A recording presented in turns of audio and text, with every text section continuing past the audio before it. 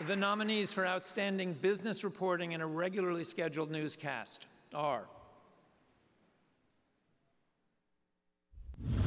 Anderson Cooper 360, GM blamed for death, CNN, Nightline, Brian Ross investigates, Herbalife, The Dream and the Reality, ABC, Nightline, Yoga Guru Under Fire, ABC, PBS NewsHour, the minimum wage debate in Seattle, PBS. PBS NewsHour and the Center for Investigative Reporting. Who's behind the Chinese takeover of the world's biggest pork producer? PBS.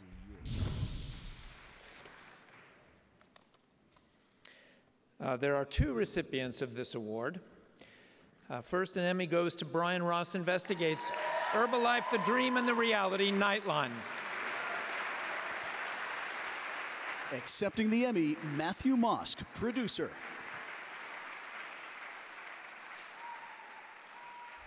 Speaking before the federal investigations were made public, Walsh strongly denied its distributors are misled about the prospects of getting rich, saying most of them only want the product for themselves or a little extra income. The reality is that most people know that this is a wonderful way in which to pay for a 50 or $60 startup fee to earn a few hundred extra supplemental dollars a month. That is what we are selling. Is that really what you're selling, though, is a part-time supplemental income?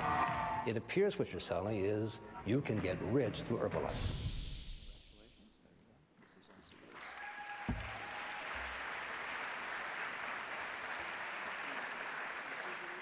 I just want to thank all my great colleagues at ABC News for uh, really proud to be up here representing all of you tonight. Um, this story was uh, an exercise in unwinding, uh, in unwinding a, a, great deal of spin, and we couldn't have done it without the support of James Goldston and uh, the team at Nightline. And uh, uh, I also want to recognize Reem Momtaz and William Gallego, the field producers who went undercover on behalf of all of us. And most of all, uh, Brian Ross, who uh, has done amazing journalism year after year. Thank you, Brian.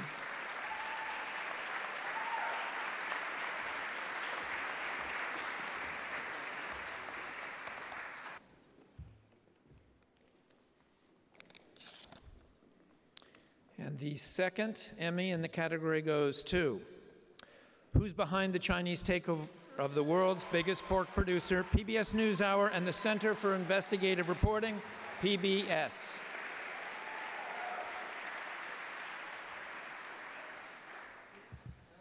Accepting the Emmy, Nathan Halverson, reporter producer.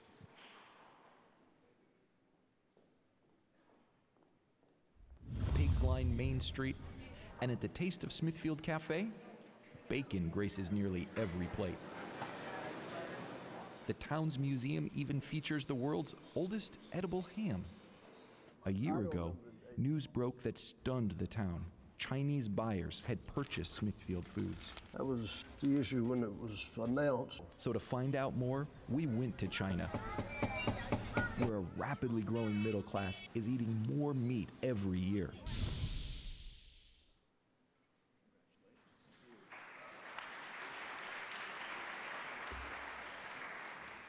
Uh, thank you. This, is, this was actually my first time working as a producer and a correspondent, so obviously there was a lot of very talented uh, people that were working behind me.